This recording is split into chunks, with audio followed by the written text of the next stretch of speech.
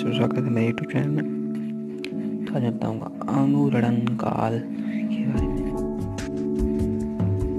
ध्वनि स्रोत से ध्वनि उत्पादन बंद कर देने के बाद ये कोई ध्वनि स्रोत है।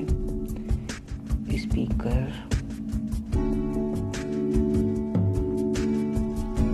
इससे जब ध्वनि उत्पादन जो है वो हम बंद कर देना है बंद कर देने के बाद ये कोई हॉल है।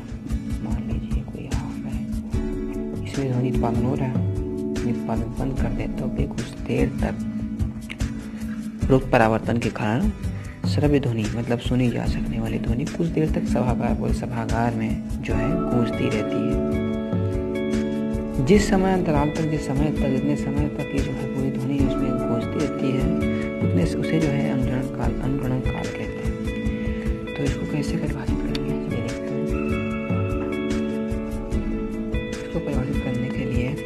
लिखेंगे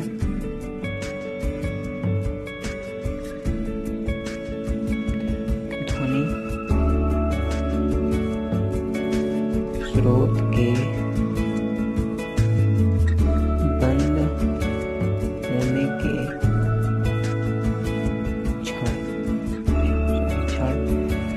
होने के क्षण से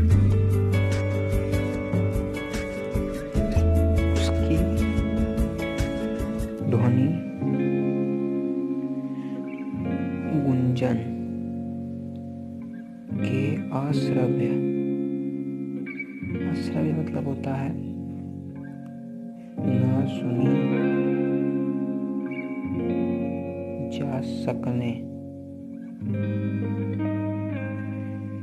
योग्य होने के क्षण तक के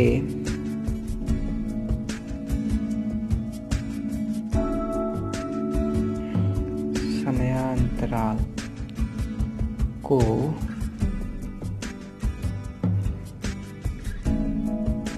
अनुरणन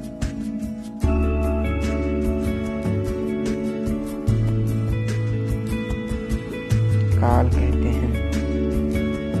एक मतलब जैसे स्पीकर ध्वनि स्रोत के बदलने के क्षण से उसकी ध्वनि गुंजन के साथ असर मतलब होता है ना सुनी जा सकने योग्य होने के क्षण तक के समयांतराल को अनुरणन काल कहते हैं। कैसे? आप तो समझिए इसको। देखो स्पीकर है, ये स्पीकर की आवाज़ कर रहा है साउंड आ रहा है, इसको बंद कर देंगे।